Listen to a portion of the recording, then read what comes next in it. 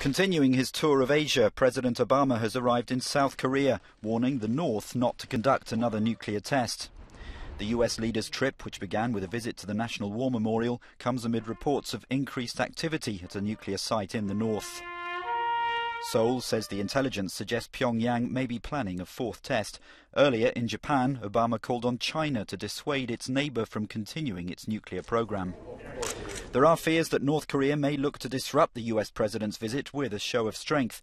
Pyongyang is persistently irritated by joint US South Korean military cooperation.